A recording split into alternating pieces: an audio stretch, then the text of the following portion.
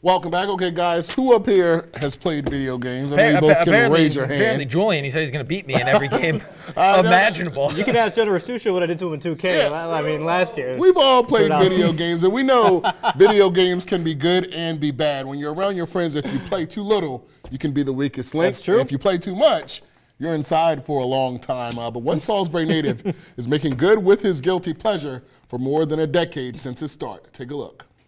What if I told you that there was a current professional basketball player right here from the Eastern Shore? I started playing basketball in about fifth grade at Glen Avenue. It was, I think, nothing but net, the nothing but net program. And then I started playing in middle school. I started playing AAU at the Salvation Army. Played until about 10th grade. Devin Peak is a 21 year old pro on the court, but it's not exactly what you think. Known in online gaming circles as Arsenal, Peak doubles as a 6'11 center for the Atlanta Hawks online gaming team, Hawks Talon Gaming Club. 10 years from now, I see it being pretty much the biggest esport around. Devin says he started over 10 years ago as any normal boy would do, playing video games in the comfort of his own room. I played like Grand Theft Auto stuff like that, like when I was little, like growing up. But 2K wise, playing online, it was definitely like when I was like 12 or 13 in like seventh grade. After running with some pretty popular gaming circles, Peak sought to go full time into it, something that his family was initially skeptical of. video games has been his thing, and I thought he was just wasting his life away. I said, Devin, uh-uh, this this sounds like a scam to me. In 2017, Devin was selected with the 33rd overall pick in the inaugural NBA 2K League draft by the Boston Celtics crossover gaming company. He came down the day that they called him. He came downstairs a crying, and I said, Devin, what's the matter? Mom, Mom, I made it. I made it. I said, you made what? He said, the NBA. After fulfilling his contract in Boston, Arsenal was selected in the 2018 expansion draft by the newly founded Talons. I see this getting bigger and bigger every year. Last year, it was the first year, and they started with 17 out of the 30 NBA teams.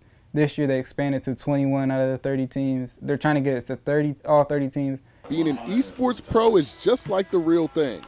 Team members sign professional contracts, practice, scrimmage, and play full time. So every day, we wake up at about 9:30. Our practice started at 10. Sometimes we play one team the entire day for eight hours straight. Sometimes we switch it up, and then we have like an hour and a half, two hours of film study. The same thing you would do like actual NBA.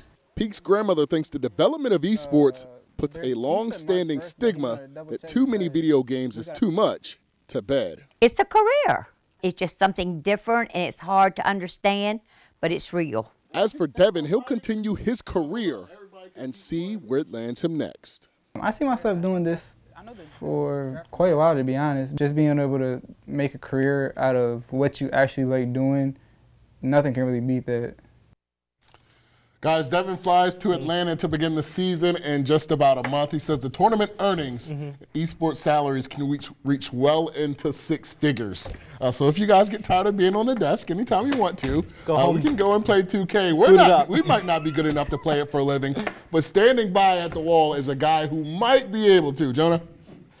Nope, uh, Julian beat me, as he said. I think I paid him 10 bucks for beating me. Uh, let's just get to the top five plays because I don't want to talk about this anymore. He's bringing back bad memories. Starting at number five, Troy Haynes of Woodbridge.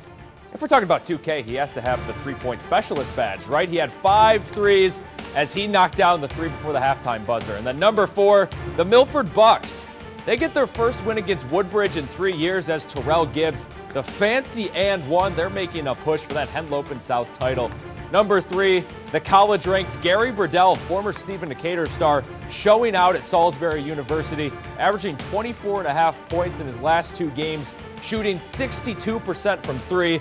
And then talking about from distance, Jaden Baker, really far away, another long three to add on to his 1,000 career point mark. And number one, Denasia Roberts, doubling that. Look at that, her not 2,000th point, nine seconds in. Congrats to Denasia, the first in Washington High history to do that.